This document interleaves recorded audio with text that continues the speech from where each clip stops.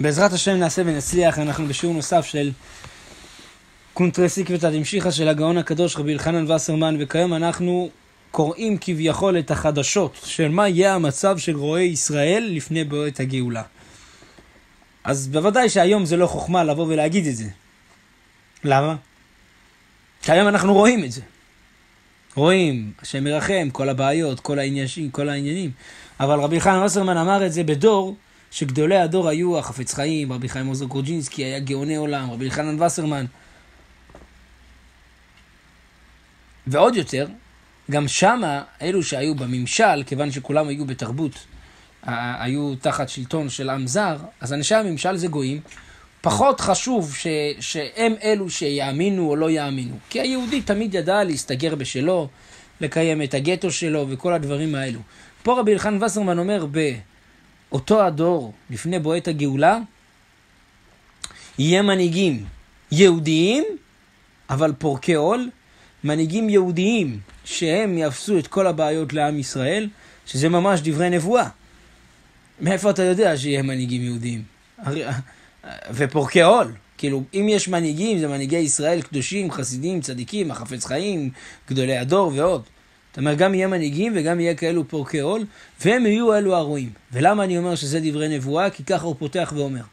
בנביא יחזקאל, פרק ל"ד, פסוק ד', מסרטט תמונה נאמנה של דור העקבתא דמשיחא ורועיו של הדור ההוא.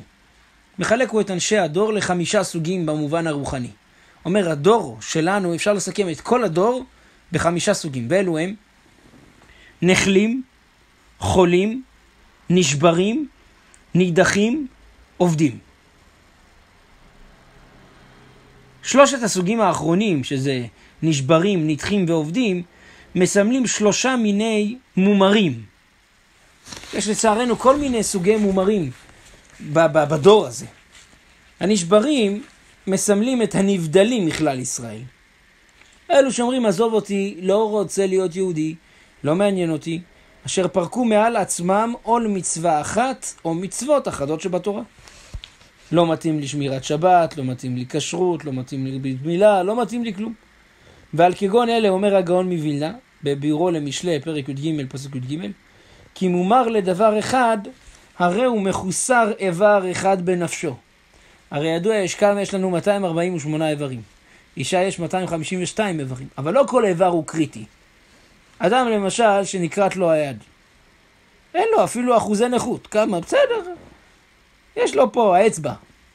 אם זה היד, ימין, יש לו יותר אחוזי נכות, אם זה גם הרגליים, יש לו יותר. אבל אם זה נקראת לו הראש, נגמר. אם נקראת לו הכליות, נקרתו לו הלב, הלבלב. אומר הגאון מווילנה, 248 איברים זה כנגד 248 מצוות עשה. אתה לא יודע איזה איבר כרתת לעצמך בשעה שאתה החלטת את המצווה הזאת אני לא עושה. לא מדובר באדם שנכשל, שקשה לו, נופל, מנסה לקום עוד פעם, לא. אומר, זה אדם מומר לדבר אחד. זה לא מתאים לי הדבר הזה. זה לא נראה לי. לצערנו היום, בגלל התועבות שמאכילים בתקשורת, אני כבר כמעט חודשיים נלחם בקבוצות האלה של המתועבים, של הגאווה, שזה החודש שלהם. אנשים דתיים יוצרים איתי קשר. דתיים אומרים לי, אני שומר הכל, אבל בזה אתה טועה. הם מסכנים, הם נולדים ככה, מה אתה רוצה?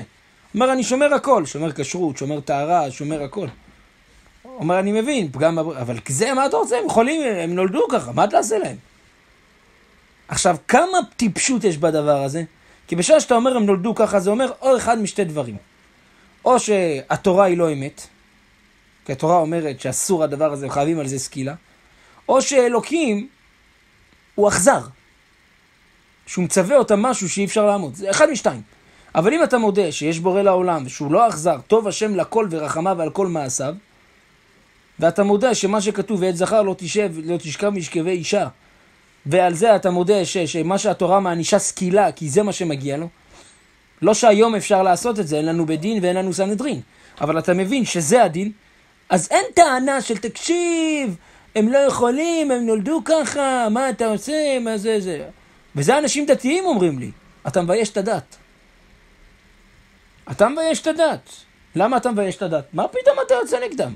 במקום לעזור להם, במקום לקבל אותם. הרי התורה אומרת, ואהבת לרעך כמוך. פסוקים מביאים לי.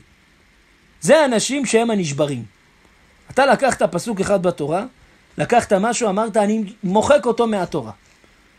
מה זה גורם? אם אתה מוחק, לקחת ספר תורה הכי מהודר בעולם. שילמת לא מאה אלף שקל על ספר תורה, מאה אלף דולר על ספר תורה. הסופר לפני כל, לא לפני כל שם טובל, לפני כל פסוק טובל. הוא כתב את זה בתוך המקווה. קדוש, כוונות, ייחודים, אבל הוא שכח, שכח לכתוב אות אחת. אות אחת. זה כבר ספר תורה פסול. אבל הוא עשה את הקדושות, הכוונות, העניינים, העולמות האלה. ואם הוא שכח פסוק, מאן דכר שמי, אסור, אסור לברך עליו. יש דעת הרמב"ם, שספר תורה חסר, אפשר לברך, מקרים שמקלים בהם, במקרה ש... אבל להלכה בלי לברך. אבל פה הם לוקחים פסוק, אומרים, מה לא, זה לא לדורנו. אז הם כופרים באחד משלוש עשרה עיקרי האמונה, זאת התורה לא תהיה מוחלפת. כופרים. או שהם כופרים בפסוק בתהילים, טוב השם לכל ורחמיו ועל כל מעשיו. זה הנשברים. הנידחים והעובדים, הרי הם המומרים לכל התורה כולה. הנידחים הינם הכופרים, שהם כמשומדים, אלא שהם קשורים עדיין עם כלל ישראל. קצת קשורים מדי פה, מדי שם, בעוד שהעובדים הינם משומדים שנתערבו בגויים עד כי נשכח מוצאם היהודי. לצערנו יש היום גם את זה וגם את זה. גם את זה וגם את זה. השם מרחם. זאת אומרת, יש כאלה שהם קצת קשורים, קשורים, אתה יודע מה. הוא בא, מתי הוא בא? הוא בא ביום כיפור לבית כנסת, הוא בא ומראה לך וקונה כל נדרי, לא משנה שזה מהכסף של הקזינו שלו, של הבית פריצות שלו, של הזה, לא משנה. לא משנה לו. למה? הוא מגיע לבית כנסת, אומר הנה פעם בכיפור הוא מגיע. זה מה שאנחנו אומרים, הרי אנו מתירים להתפלל את העבריינים. כולם מגיעים, כל העבריינים מגיעים בבית כנסת בכיפור, מלא מלא מלא וגדוש. איפה אתם כל השנה? אומר לך, לא, אני כל, כל השנה בשבתות אני לא יכול, למה? אומר, יש לי מועדון פתוח בשבת, אני לא יכול לבוא לבית כנסת. אתה אומר לו, אז למה אתה לא פותח אותו גם בכיפור? הוא לא, מה, כיפור קודש? מה, לא יכול. כיפור קודש. בשבת מה היא? אה, שבת קשה. אז הוא מקשר את עצמו, אבל יש כאלה כלום. לא כיפור ולא שבת, לא כשרות ולא ברית מילה, כלום, כלום, כלום, כלום, כלום. אותם הוא מגדיר הנביא. איך הוא מגדיר אותם? עובדים, נאבד. נשכחתי כמת מלב, הייתי ככלי עובד.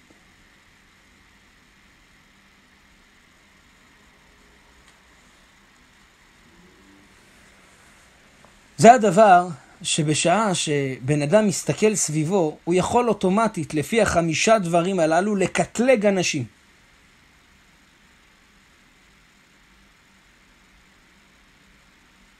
לשים אותם בקבוצות, קטלוג.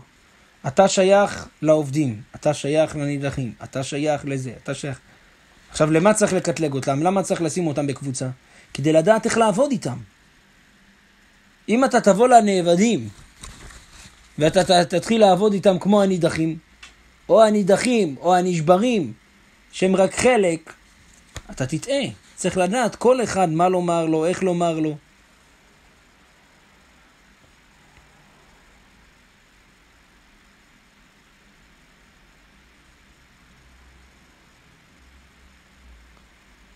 יש באמת בברכת למינים ולמלשינים אל תהי תקווה. מה שהגמרא אומרת במסכת ברכות, דף כ"ח עמוד ב', תקנו אותה ביבנה.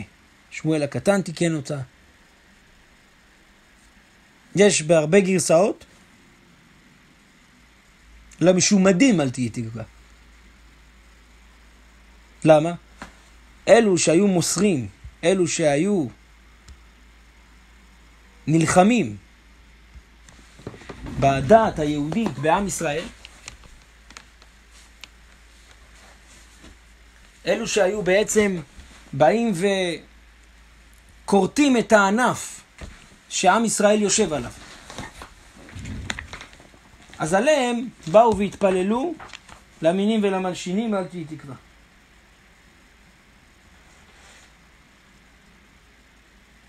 ואנחנו באים עד היום ומתפללים, כי לצערנו הדבר הזה שייך עד מאוד גם בדורנו. שיש אנשים שבאים, מסטינים, מקטרגים, נלחמים בכל דבר של עם ישראל, הולכים והורסים את השם של ישראל בכל העולם על ידי זה שבאים ומראים כביכול, כביכול, כמה עם ישראל לא בסדר, כמה עם ישראל הוא לא מתנהג ב... ב בהתנהגות הנאותה וכמה חס ושלום התורה, התורה שבכתב, תורה שבעל פה, היא לא בסדר. וזה הברכה למינים ולמלשינים, אל תהי תקווה. כל הזדים מהרה יכרתו. וכל הרשעה מהרה תעקר ותשבר ותכלם ותכניעם במהרה בימינו. אנחנו באים ומתפללים על זה, שכל הדברים הללו יהיו במהרה בימינו.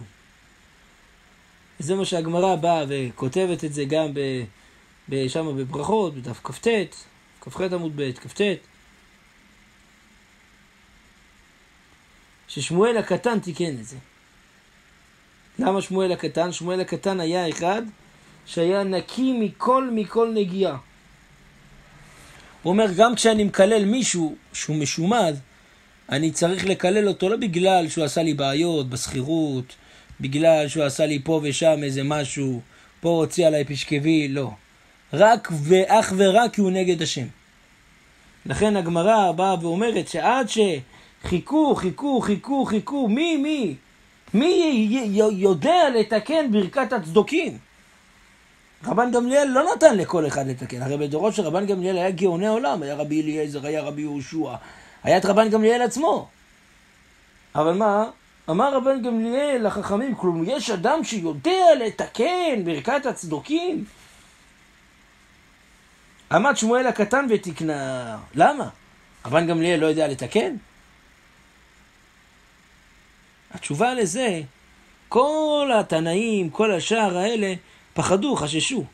אולי מה שאני רודף אותו, מה שאני מקלל אותו, מה שאני עכשיו אומר לו, יימח שמך וזכרך, זה בגלל שעשה לי צרות. זה לא בגלל כבוד השם. אז איך אני אתקן ברכה לדורי דורות שכולם יגידו את הברכה הזאת, כולם יענו עליה אמן במשך אלפי שנים, וזה לא לשמה. לכן לא תקנו עד שהגיע שמואל הקטן. מה זה שמואל הקטן? שהמקטין את עצמו, לא מחשיב את עצמו לכלום. מעולם אף אחד לא פגע בו. למה? לא שלא פגעו, ניסו, אבל לא, לא, לא, לא מקפיד, לא, לא אמרת לי כלום. הרב גלינסקי, זכר צדיק לברכה, סיפר שבישיבה שלו, שהוא למד, הוא למד בן ורדוק, היה אחד שהיה אחראי על החליפות. איזה בחור מקבל חליפה. היה קצת תרומות והרבה בחורים. אז פעם בשנה היו מקבלים שתיים, שלוש חליפות לפני החגים, אבל היה תור של שלוש מאות בחורים. אבל כולם ידעו בישיבה שאם אתה מגיע לאחראי של החליפות, נותן לו שתי סטירות ואומר לו, אתה גנב, אתה רשע, אתה דואג רק לעצמך, אתה היית מקבל את החליפה. אתה היית מקבל, למה? הוא היה כל כך ירא שמיים, שהוא היה אומר, תראה, כל זמן שאף אחד לא הציק לי, שאף אחד לא הרע לי, שאף אחד לא נתן לי מכות, אז אני יכול להחליט שלדעתי, ראובן יותר עני משמעון, אז מגיע לראובן את החליפה. שראובן הולך כבר שנתיים עם נעליים שעליהם נאמר וכולם פותחים את פיהם. ושמעון, הנעליים שלו עדיין קצת סגורות. אומר, אבל ברגע שנתת לי סטירה, ברגע שביזית אותי, ברגע שהשפלת אותי, אז אני כבר לא אובייקטיבי. אז מי אמר שמה שאני מחליט זה באמת בגלל שהשני יותר עני ממנו? אולי זה בגלל שהוא צייר אותי יותר, הוא בייש אותי יותר, הוא... זה לא עניין שאדם הוא פראייר. שאדם כן, כן, תיתן לי מכות. לא!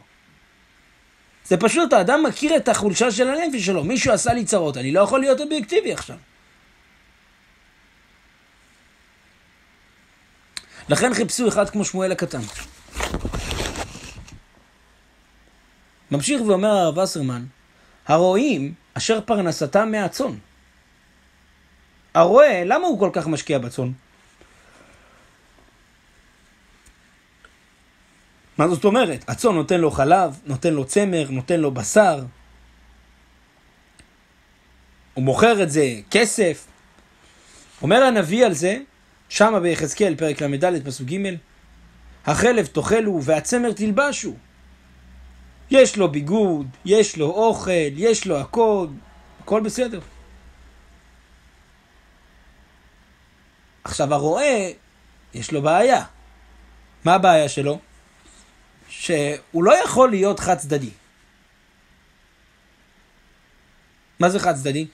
שרק לוקח מהבהמות שלו ולא נותן. אם אתה לא נותן, נגמר. היה פעם אדם אחד, קנה סוס. אמר לו הבעלים שמכר לו את זה, אמר לו, תראה, הסוס הזה אוכל בין קילו לחמש קילו כל יום. תלוי בעבודה, תלוי במאמצים, תלוי בדברים. טוב. בהתחלה נתן לו על ההתחלה חמש קילו, אכל, הותיר, עבד טוב. אחר כך הוא אמר, חבל, חבל. חמש קילו, נוריד לו. שתיים וחצי קילו. הוריד לו. קילו, הוריד לו. התפוקה ירדה. עכשיו, ברגע שהתפוקה ירדה, מה הוא אומר? כבר לא שווה לי להשקיע בסוס הזה קילו אוכל. הוא לא עובד כל כך. בוא נוריד לו חצי קילו. הוריד לו חצי קילו, הסוס בקושי עובד. מה הוא אומר? בוא'נה, הסוס הזה לא שווה גם את זה. בוא נוריד לו רבע קילו.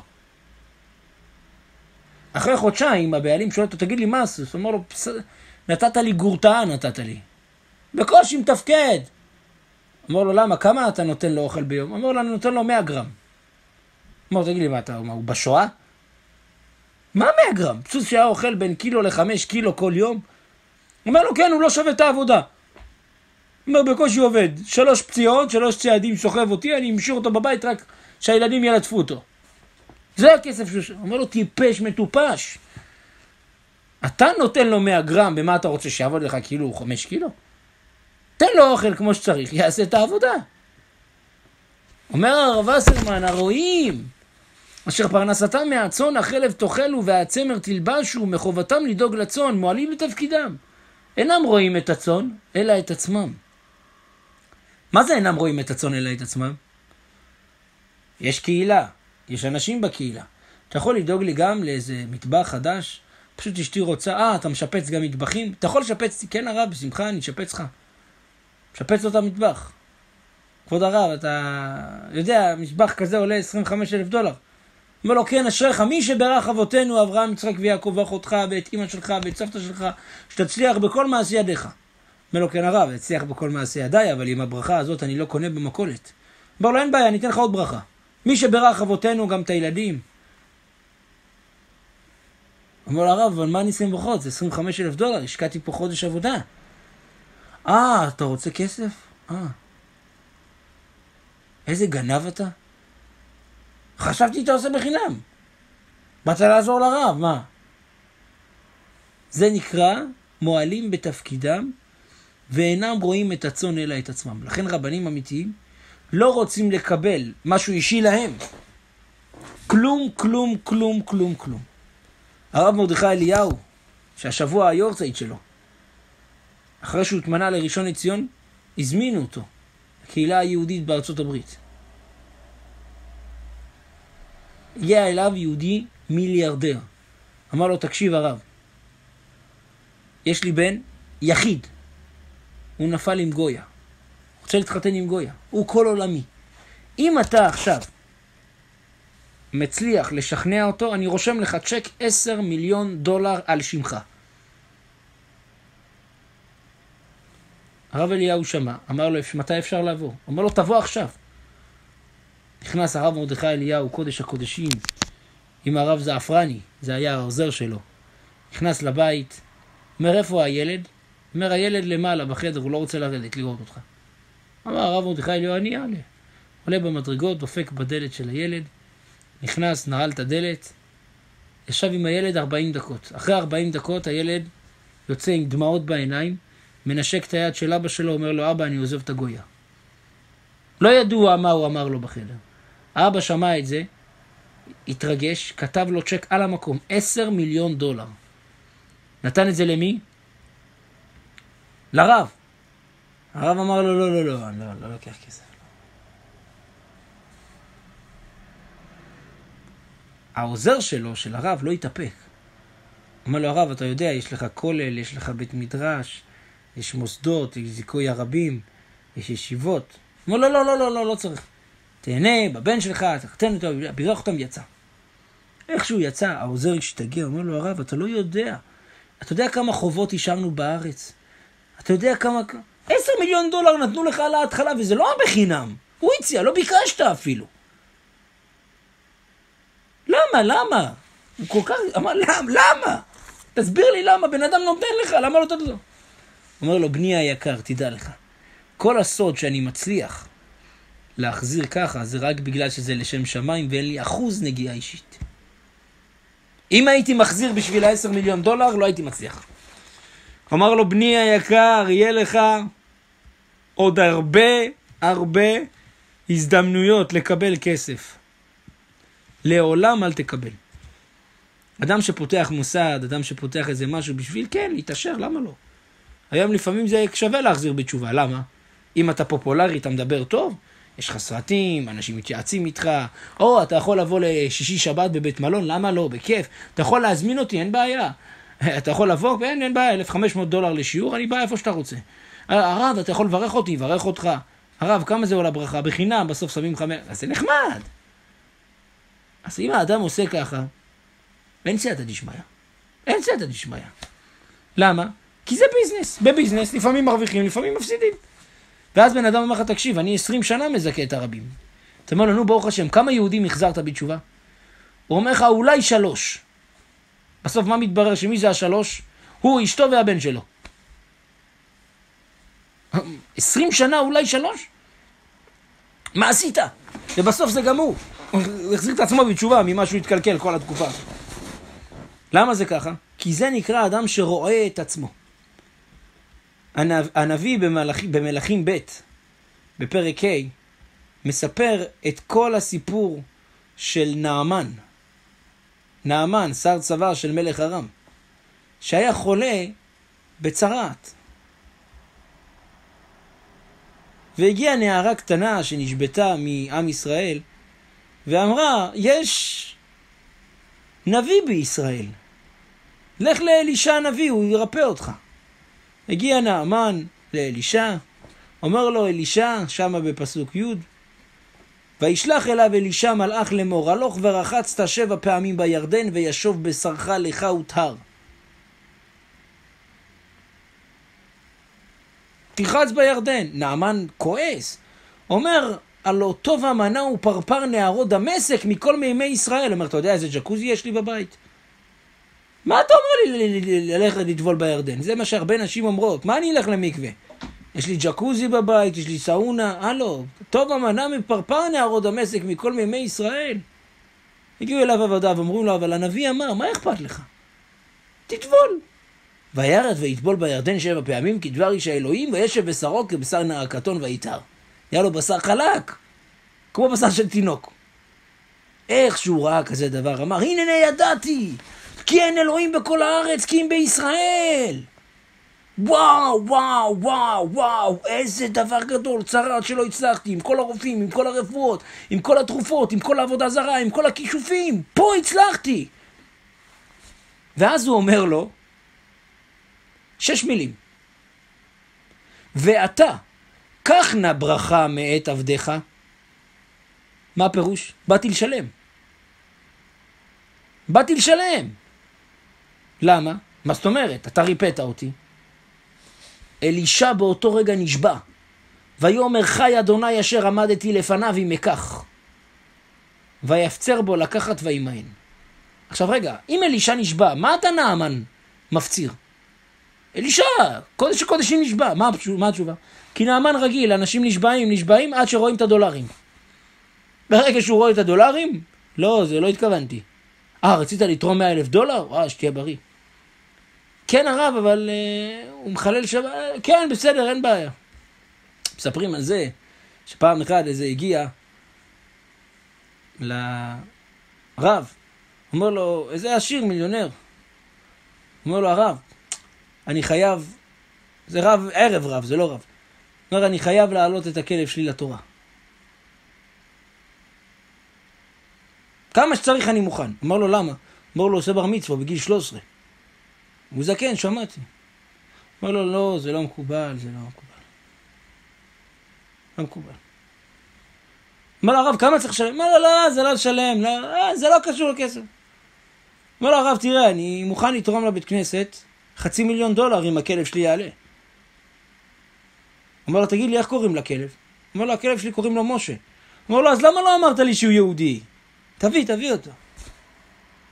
משה, בטח, תביא אותו, אין בעיה. נעלה אותו לתורה, מה הפך את הכלב? חצי מיליון דולר. קוראים לו משה. מזל שהוא קרא לו משה. אין בעיה. אומר אלישע, אני נשבע שאני לא לוקח, נעמן מפציר בו. טוב, מה סוף הסיפור? אנחנו נקצר. גחזי, המשרת של אלישע, רואה את זה, העיניים שלו נופלות. הוא מוציא לך 100 מיליון דולר על השולחן, רק תדבר. תגיד איזה בית, איזה דירה, איזה פנטהאוז, איזה יאכטה, מסוק, מה שתרצה תקבל. הוא רואה את הדבר הזה, משתגע. אומר זה הנביא הזה, זה פרזיט, אברך, שמספיק לו 1,800 שקל לתשעה ילדים שלו, מה פתאום? בוא ניקח כסף.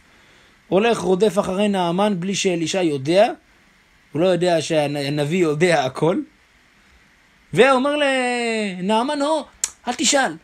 בדיוק איך שיצאת, הגיע איזה מקרה, איזה זוג, שהיה צריך עזרה מהנביא, אתה יכול לבוא לעזור לזוג הזה? לא, לא, לא, לא, לא בשבילי. לא, רק, אתה יודע, זה... בשביל ש, ש, שיהיה עזרה, ויהיה לך גם מצווה גדולה, אתה יודע. איך שנעמן רק ראה את המשרת שלו, של אלישע, הוא נפל מעל המרכבה. וירדוף גחזי אחרי נעמן, ויראה נעמן רץ אחריו ויפול מעל המרכבה לקראתו. נעמן, שר הצבא, הגיבור, הנורא, הרמטכ"ל הכי גדול, רואה את המשרת של הנביא. והוא מנצל את זה. ומה? מבקש כיכר כסף, שתי חליפות בגדים, בא, נתן לו, הוא הלך והחביא את זה, ואז הגיע לאלישע. שואל אותו אלישע, מאין גחזי? איפה אתה הגעת? אומר לו, לא, לא הלכתי, סתם הסתובבתי, עישנתי סיגרה בחוץ, לא. אומר לו, תגיד לי, מה, אתה משקר עליי? אני לא יודע שהלכת לנעמן? ואז הוא קילל אותו. זה הפסוק האחרון בפרק. וצרת נעמן תדבק בך ובזרעך לעולם, ואומר הכתוב, ויצא מלפניו מצורע כשלג. אלישע כל כך כעס עליו. למה? אומרים חז"ל, נעמן, מרוב ההתפעלות שלו, רצה להתגייר, להיות לא דוס ווינדוס. אמר, אני אהיה כמו הנביא. כמו, כמו אלישע, אני עכשיו עוזב את הכל, עוזב את הטומאה, עוזב 49 שערי טומאה, עוזב הכל, עוזב את הרם, עוזב את העבודה הזרה, עוזב הכל, הכל, הכל, הכל, הכל, יושב, לומד תורה מהבוקר עד הערב, לא מעניין אותי כלום. כזה דבר, בן אדם מרפא אותך, אתה שם לו 100 מיליון דולר על השולחן, לא, לא מסתכל עליך בכלל. זהו, אמר אני הולך הביתה, שם את כל המרכבות, בורח, נהיה גר צדק, הגרף פוטוצקי. זהו, אני... ברגע שהגיע אליו גחזי, אמר, אה, אז גם הדתיים בסוף, כן, הם לא לוקחים ישר, אבל אחר כך שולחים את ה... ירד לו ההתפעלות, נהיה גר תושב. מה זה גר תושב? רק לא עובד עבודה זרה. מאמין באלוקים. אלישע אמר לו, אתה יודע מה הפסדת פה? אתה יודע שהוא יכול היה להיות עכשיו גדול הדור. אתה, בגלל התאווה של הממון שלך, החילול השם שעשית, לקחת את הבן אדם, במקום שיתגייר, יהיה גר צדק, במקום שיהיה יהודי קדוש, יהודי טהור, שמזכה את הרבים, אדם שהוא שר צבא, יש לו עוצמות. יש לו עוצמות לא רק חזקות פיזיות, זה לנהל מלחמה, זה אסטרטגיה, זה חוכמה, זה סבלנות, זה כוח ניהול. אתה יודע איזה כמה ישיבות היה יכול לפתוח עם הסל צבא הזה? אתה יודע כמה תורה? ואתה, נאמן, על שתי כיכרים כסף ושתי חליפות בגדים? תראה מה גרמת. לכן הוא קילל אותו, וצרת נאמן תדבק בך ובזרעך לעולם. גם היום, הצאצאים של גחזי, כולם מצורעים. אפשר ללכת לראות אנשים מצורעים בעולם, אם אדם ילך בהיסטוריה, חלקם, אם ימצא אותם. למה? הוא אומר, החילול השם שעשית זה לדורי דורות, זה משהו שלא ניתן לכפרה. ואומרת הגמרא במסכת סנהדרין, בדף צדיק עמוד א' במשנה, שלושה מלכים וארבעה אדיוטות אין להם חלק לעולם הבא, גחזי, אחד מהם. למה? כי זה בדיוק מה שאומר כאן הרב. בשעה שהרועים, אשר פרנסתם מהצאן, החלב תאכלו והצמר תלבשו, ומחובתם לדאוג לצאן, מועלים בתפקידם, אינם רואים את הצאן אלא את עצמם. הצאן טועה על כל הר וגבעה, טרף לשיני חיות השדה, ואין דורש ואין מבקש, ככה אומר הנביא יחזקאל, פסוק ו'. על כן אומר הקדוש ברוך הוא, אומר אלוקים, אם הרועה לא עושה את תפקידו, אשבית את הרועים מרעות, ואנוכי בעצמי אראה צאני. אומר אלוקים, לא צריך אתכם, אתם מנהיגים? אתה דואג רק לכסף שלך, לבית שלך, למשכורת של המיליון וחצי דולר בשנה? שיהיה לך בית, ושיהיה לך בריכה, ושיהיה לך פנטאוט, ושיהיה לך נהג, ושיהיה זה, ושיהיה... זה מה שאתה דואג. מה עם החילולי שבת? מה עם הכשרות? מה עם אתה? לא, זה בסדר, בעזרת השם, עוד 200 שנה, בעזרת השם, הם ידעו מה קורה איתם. אומר אלוקים ככה, לא רוצה אותך. אומר אלוקים, מה אעשה לצאן מרעיתי? דבר ראשון, שמה בפסוק ט"ז, ביחזקאל, פרק ל"ד, פסוק ט"ז, את העובדת אבקש. זה מה שאנחנו אמרנו, שיש חמישה שלבים, חמישה קבוצות שיהיו בעם ישראל. את העובדת אבקש, ואת הנידחת אשיב, ולנשברת אחבוש. עובדת, נידחת, נשברת. אומר הרב וסרמן, יש לעמוד על הסדר שבתהליך הזה. ראשית, את העובדת אבקש. מי זה העובדת? האנשים אשר אבות אבותיהם ואימות אמותיהם המירו את דתם. כי הרי הוא הסביר לפני כן, עובד הכוונה משומד. לפני 120, 130 שנה, פתאום ייבדקו בספרי יחוסיהם ויקבע מוצאם הלא ארי. זה מה שהיה היטלר עשה. פתאום זה אבוד, זה כבר מאה שנה הוא אבוד. פתאום הגויים מתחילים כאילו ללמוד מסכת יבמות. אם אמו, אם אם אם אם אמו, אם אביו, אבי אבי אביו. מה, מה אתם עושים? הם יוכו על קודקודם וברורם יאמר להם, דעו כי יהודים אתם ויהודים תישארו על כורחכם. במדינה אשר בה רק יהודי אחד על כל אלף גויים, גם שם יבקשו אחר היהודים, יבקשו וגם ימצאו. זה מה שאומר אלוקים. הדבר הראשון, את העובד תבקש, אלו שנעבדו, התבוללו, פתאום מגלים אותם. למה הסבא של הסבא של הסבא שלך לפני מאה שנה היה יהודי? לשלב זה הגענו כיום, התהליך עדיין בעיצומו, במהירות רבה מתפשט וממדינה למדינה. לאחר שהסתיים השלב הראשון וכל העבודים יימצאו, יחל השלב השני.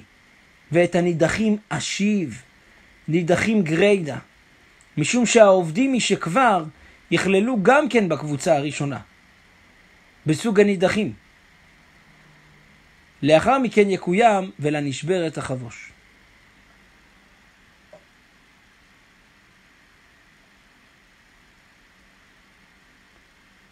זאת אומרת, אחרי שיחזור את האבודים, גם אלו שהם נידחים, שהוא פירש, הכוונה כופרים, אבל קשורים קצת לכלל ישראל, ויש את השלב הראשון בשלושה האחרונים,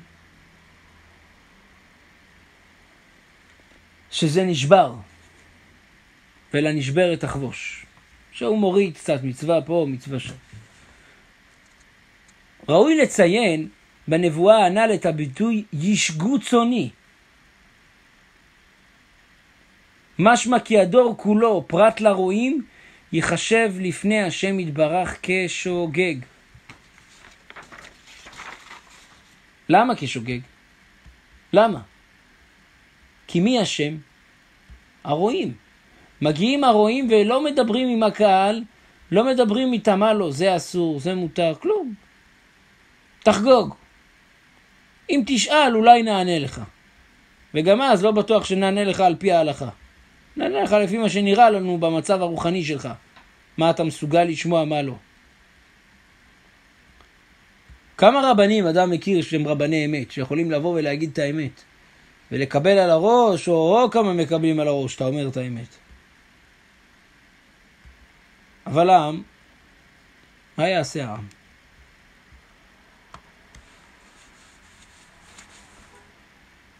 כי הדור כולו פרט לרועים ייחשב לפני השם יתברך כשוגג כי לכל העם בשגגה. פסוק בספר במדבר, פרק ט"ו, פסוק כ"ו. אלמלא הרועים המהווים מחיצה של ברזל בין ישראל לאביהם שבשמיים, לא קשה היה להחזיר את הדור לתורה. המורים, המדריכים, הסופרים, מנהיגי המפלגות, הם המעכבים בעד קרן האור של התורה לחדור למחשכי הלבנות, הלבבות.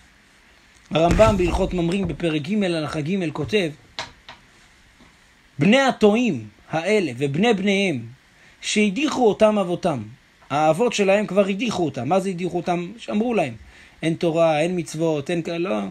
ונולדו בין הקראים וגידלו אותם על דעתם, הרי הוא כתינוק שנשבע ביניהם, וגידלו, ואינו זריז לאחוז בדרכי המצוות, שהרי הוא כאנוס.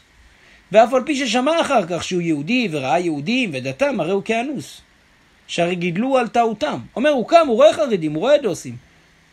הוא רואה, אבל אומרים, עזוב, אמרו לו מראש, אל תתקרב אליהם. הם כת ישנה, פרימיטיבית, שמי שנכנס שם לא יוצא. ככה חינכו אותו, ככה גידלו אותו. כך אלו שאמרנו, האוחזים בדרכי אבותם הקראים שטעו. לכן אומר עליהם הרמב"ם, לפיכך, אותם אנשים שהם מסכנים, ראוי להחזירם בתשובה ולמושכם בדברי שלום עד שיחזרו לאיתן התורה.